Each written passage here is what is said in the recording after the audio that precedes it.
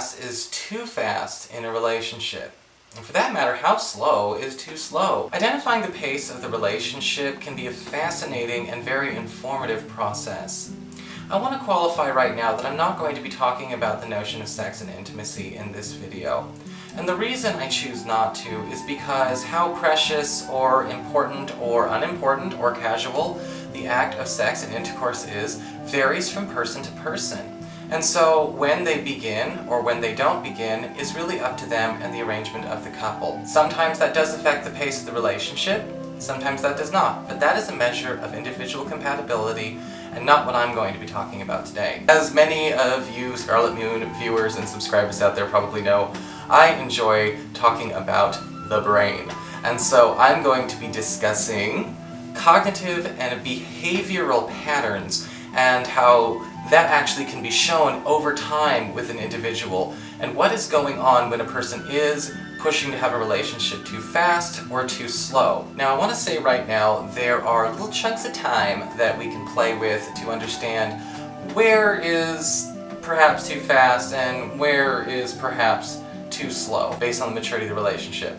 Of course, use discretion and critical thinking. There are always minor exceptions as well as fluidity in all things. There is never a hard and fast rule, and if they made a guidebook for life, it would be wrong. So let's have a good look at this and just see if we can understand, you know, what you can look for to see if an individual is going too fast in relationship and we need to decelerate, or if they're going too slow and we might need to accelerate. Or perhaps, if a person is going too fast, you may feel like it's time to leave. Or if a person is, time to, is going too slow, you may feel it's time to keep your options open.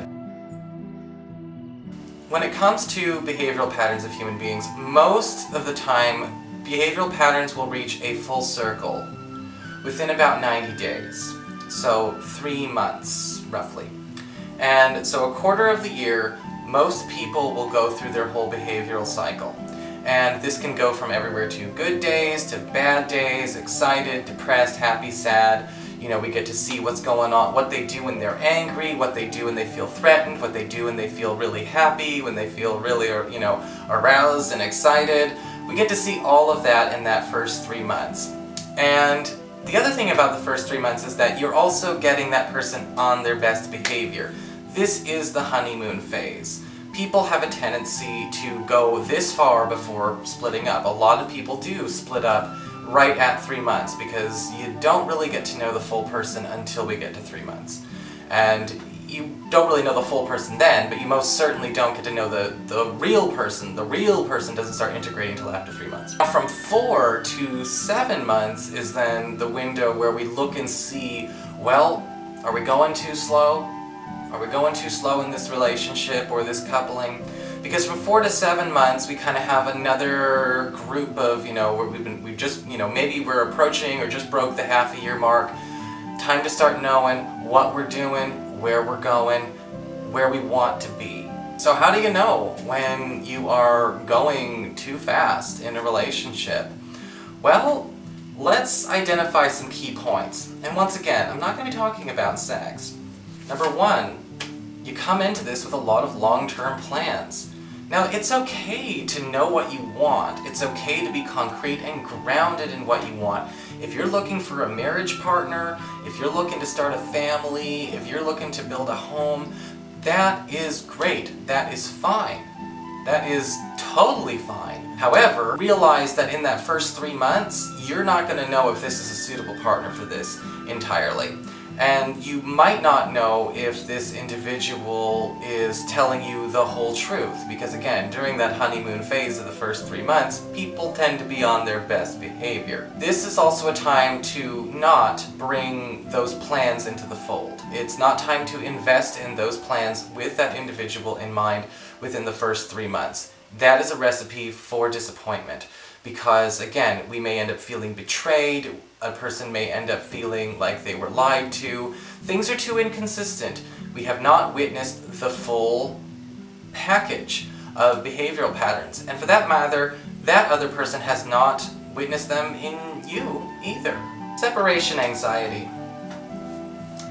If an individual is basically having a really hard time giving you your space at month two. Maybe you feel like they get upset when you do not call or text them frequently. You may want to let them know that you still like them, but they're moving way too quickly. Separation anxiety that early in the game is sort of a, a little bit of an alert for another issue that's going on with that individual. They may be concerned or still dealing with a hurt or a bruise from a past relationship or a past disappointment. It's still important to assert a boundary there though, because you do not want to be in a situation where you are dating them and their ex, you want to be dating them, you know, and so we want to make sure that you are not placating into that. The other situation that can come with separation anxiety is that an individual may feel that time spent apart basically means more time to grow apart, which does indicate, again, this individual may be dealing with some trust or abandonment issues, or maybe even some latent control issues spurned by hurt or disappointment in the past. And it would be important to inform them that they are, again, rushing this relationship. Availability shifts. This is a big one. If an individual suddenly goes from needing to plan ahead to being available at the drop of a hat, this individual is compromising other relationships and other priorities and basically their own life in order to actually curb what we just talked about, a separation anxiety, or to become too available to the person that they're dating. Again, between zero and three months, this is basically a lot to start putting on the table and a lot to start chopping off and compartmentalizing. In fact, it's less than a quarter of a year. What happens at that point is that this person no longer is allowing themselves to have a life that they can bring to the relationship and nurture with their partner. A good relationship is when both individuals have their own lives and then they enrich the relationship together. But when one decides not to have a life, then it's up to this one individual, the opposite partner, and their life to somehow hold everything up. And that is way too much pressure. That is a lot of pressure to put on an individual at six, seven, eight, even nine weeks. So don't let that pressure be put on you to do that. Premature social integration. This is kind of an interesting one because while we may meet partners through friends or through family members, it's not always the case. And if we are meeting an individual on our own, you know, it's important to realize that if a person is trying to, again, integrate themselves into family or into friend structures very early, they are attempting to actually ground themselves, again, to build a support system for the relationship around themselves. And again, it may be important to sort of reinforce that they need to actually have their own support system outside of this relationship or that affiliated with this relationship. The reason for this is that the individual, again, is lacking faith in the long-term opportunity. So they may actually be trying to look for confirmation, validation, and affirmation of long-term potential in this relationship by putting the, pr the pressure of a five-year relationship into a three-month period. And so we have to reassure them that they don't need to do that and that it's perfectly fine that we don't this early. Now what about going too slow? When we're going too slow, we're going to look at the point between four and seven months into the relationship. And this could be something simple and something that a lot of people don't really pay attention to, but if, it, if the relationship is still feeling fairly impersonal at month six and seven, or if we haven't even talked about being in a relationship by month four or five, we're probably going fairly slow. The first point about a relationship going too slow is if in this time between months four and seven, we're still fairly unfamiliar. You know, if you don't really know a person enough to know maybe when their birthday is, what their favorite movie is, you know, what's their favorite food, what are they allergic to, you know, fun little facts like that. If that is completely clueless, then the individual who is who doesn't know is perhaps moving too slow and not investing enough time and priority into this courtship. This can also be kind of a strange sort of area to be in because what is too personal and not too personal? But being unfamiliar with the just the most basic and superficial facts about each other might be a sign that somebody is perhaps just a little bit too slow. And this isn't about being forgetful. Everyone can be forgetful. I have had boyfriends that just forgot my birthday despite the fact that it's 9-11. And, you know, they still remember what my favorite movie is. They still remember my favorite book and my favorite food and you know, all that kind of stuff. So there's there's there's room to play. You know, of course nothing's going to be 100% exacting, and nobody should have a tick box with this. But you know, just just think about that. No social integration.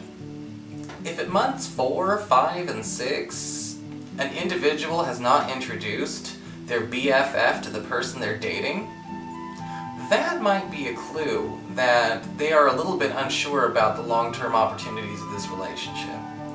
If we have not actually integrated at least very close friends, or at least casual acquaintances, maybe gone on a group date or two, gone out to a group party, you know, gone out as dates to a party, that might be a clue that this is going a bit too slow.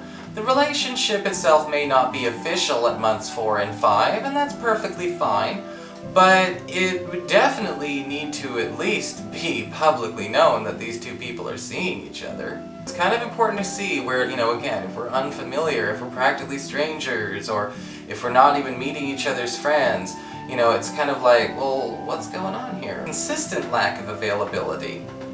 Being too available is, you know, is one thing in the beginning of a relationship.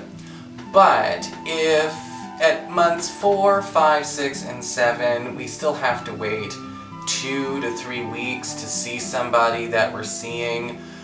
This, and we're not both busy, you know, and this is kind of, we're not making time for each other at months four, five, six, and seven. This is a sign that, again, the relationship is kind of dragging its feet. Now, if this is, of course, mutually agreed upon, this should already be known to everyone who's watching. If this is mutually okay between both partners, of course, go ahead and do it. Go at your own pace. But I think that if this is not mutually agreed upon, then this is a sign that there is a problem with going too slow. Maybe a need to kind of think about how serious this thing really is. Communication lapses. Another issue at this point in time is, yeah, this communication lapse. What is happening with this person's availability is one thing, but if they're not going to inform their partner that they're going out of town on holiday for two weeks, you know, that's kind of an important piece of information to know. You know, so if communication lapses like that are happening about big changes, shifts, events, and things like that, you know, if you're dating somebody and you find out his, you know, God forbid his father passed away and you didn't know, that's kind of a big thing. That kind of lets you know where you fit on the phone tree. When you have communication lapses like going to Tahiti for two weeks on holiday, sorry, I'm on the I'm about to get on the plane, I forgot to mention it, then we gotta got a problem. And finally, no conceptualization of even short-term goals. And maybe long-term goals are not ready at months 5, 6, and 7, especially if you're younger. Maybe talking about things like marriage and children is still kind of early at that point in time. But if we're not talking about planning on being in an official relationship, what we call an official relationship, or if we're going in that direction towards some kind of romantic commitment, even if, you know, we're not, we're, we're not putting marriage on the table at this point in time, then we are going a bit slow half a year has gone by. Conceptualization of at least steps four and five should be discussed, even if we're not going to stop about talk about steps nine and ten just yet. But that's kind of an idea or a little rundown about what happens if things go too slow. Like I said, obviously, if you find a mutually agreed upon, functional, safe, secure, and happy pace for your partner and you, that's what's really important. But this can be a really good thing to consider, especially if there is an issue with a lapse in timing or perhaps even again a situation where a person is going too fast or going too slow. typically in instances where a relationship is going too slow, the relationship individuals will grow apart, and maybe that is for the best. You know, if, if a relationship goes too slow for too long, the ships part ways. If a relationship goes too fast, too soon, between zero and three months, that is a recipe for a lot of drama and a lot of negativity and fighting. So that can create a really unstable and, you know, and, and, and harmful atmosphere, especially if there's a lot of pressure on this to succeed so early. So again, always find the balance when it comes to what you're going to do with your priorities. Always keep your goals in mind. Just keep in mind that you've got a long time to achieve them.